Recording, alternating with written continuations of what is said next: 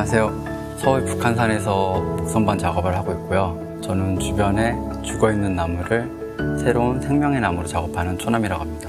조각에 관련된 책을 보면서 작품의 형태, 품고 있는 이야기에 제가 호기심을 느꼈고요. 제가 표현하고 싶은 작업들, 그리고 하고 싶은 이야기 때문에 지금까지 작업을 하고 있습니다.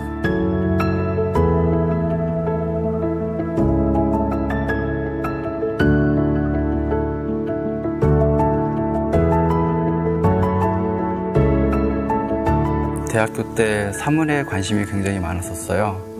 그래서 그때 아트 선제 센터에서 김범 작가님 개인전 전시를 보게 되었는데 작가님 작품 중에서 자신이 새라고 배운 돌이라는 작품이 있었어요.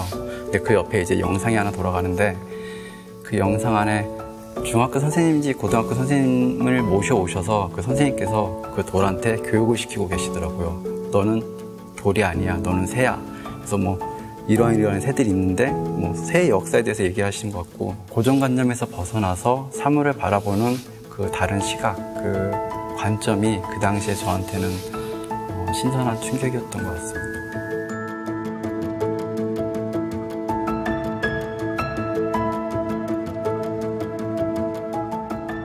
이번 전시에서 사용되어진 나무들은 각기 다른 장소에 누군가에 의해서 베어지고 더 이상 성장하지 못한 나무들을 어, 저를 거쳐서 어, 한 장소인 이 미술관에서 이제 전시가 진행되어진 건데 그 나무들을 제가 다시 가꿀 수 있는 나무로 다시 작업을 하고 누군가의 손길로 돌아가게끔 하는 게 제 작업의 내용입니다.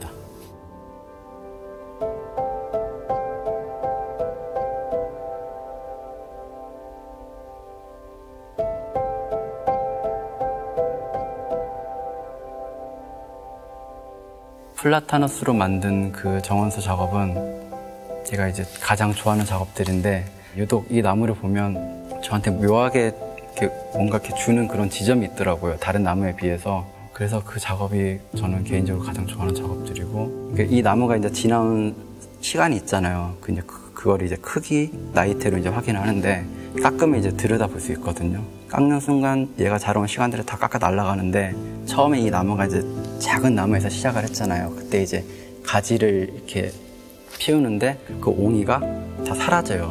점점 커지면서 묻혀져요. 정말 이만한 나무가 이렇게 줄어들었을 때는 그 옹이들이 다 보이는 거예요. 이러, 여기, 여기서 봤을 때 옹이가 하나도 없었는데 줄어들었을 때 그때 이제 이 나무가 처음에 시작된 그 지점, 그 생명이 시작된 그 나무를 봤을 때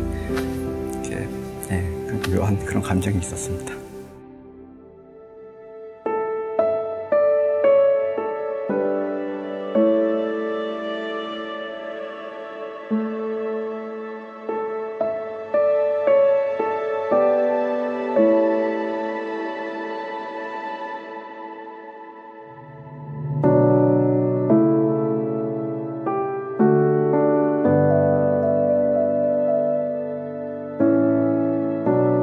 기존의 해석이 아닌 새로운 해석을 할 수 있는 그리고 좀 더 사고의 폭을 넓힐 수 있는 그런 작업들을 하고 싶습니다. 그러니까 사물을 있는 그대로 보는 게 아니라 그거를 넘어서서 정해진 그런 규정 같은 거 있잖아요. 그 안에서만 그거를 바라보는 게 아니라 저는 되도록이면 제가 생각할 수 있는 범위를 이렇게 가둬두지 않고 좀 더 확장해서 좀 다른 시각으로 바라보려고 생각을 하고 그거를 작업으로 표현하고 싶어 합니다.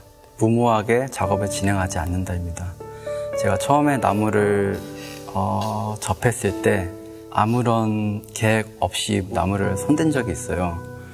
근데 결과적으로 그 나무를 어, 되살리지 못했었는데 불편하고 힘들더라고요. 그래서 이 나무가 더 이상 버려지지 않게 하기 위해서 충분한 시간을 갖고 그에 대한 고민과 계산이 돼야만 제가 작업을 할 수 있더라고요. 목공 선반이라는 작업 기법으로 출발을 하였는데 앞으로 좀 더 생명성을 부여할 수 있는 작업들을 진행해 보고 싶고요. 생동감이 더해질 수 있는 작업에 대해서 생각하고 있습니다.